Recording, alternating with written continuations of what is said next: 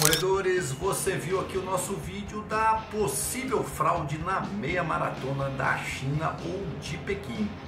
E se eu disser para você que não teve fraude nenhuma e tenho como provar? Vamos saber disso daí? Eu sou Demais Carvalho e você está meia corrida.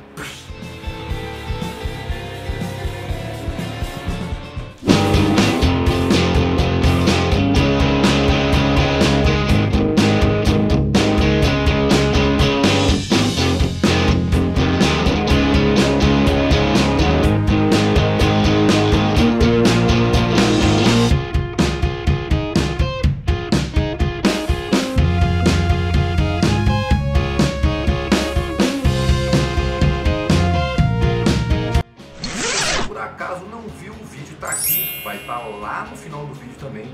A gente foi um dos primeiros canais a falar sobre isso e falar sobre o resultado, até que não, já teve outros meios que falaram, mas a gente deu aquela pesquisada como a gente sempre faz no canal para trazer informação do mundo da corrida para você. Por isso até já te peço para se inscrever no canal, porque aqui a gente está trazendo informação para você.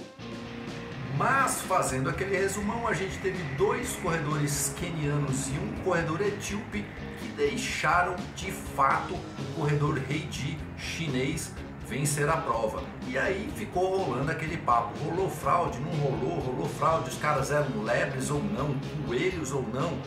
E quando o corredor é coelho, porque é permitido, ele tem uma identificação diferente. E a suspeita começou porque eles tinham uma identificação como corredores normais, corredores de elite.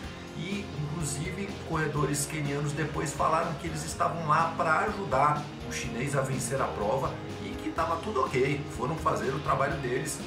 Foi aquele rebuliço, a organização da prova foi investigar, assim como a World Athletics. No final das contas, a culpa é da Xiamen Xtep Investment uma empresa chinesa que ajudou ali, patrocinou, pagou o cachê desses corredores africanos para que o chinês pudesse bater o recorde.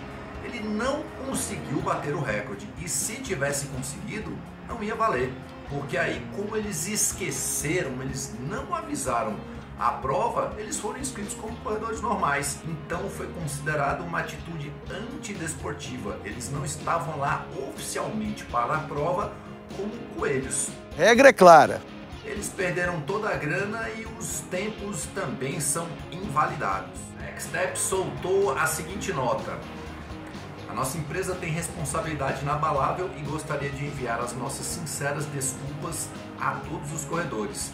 Temos uma grande responsabilidade e aceitamos plenamente a decisão de punição tomada pelo comitê organizador.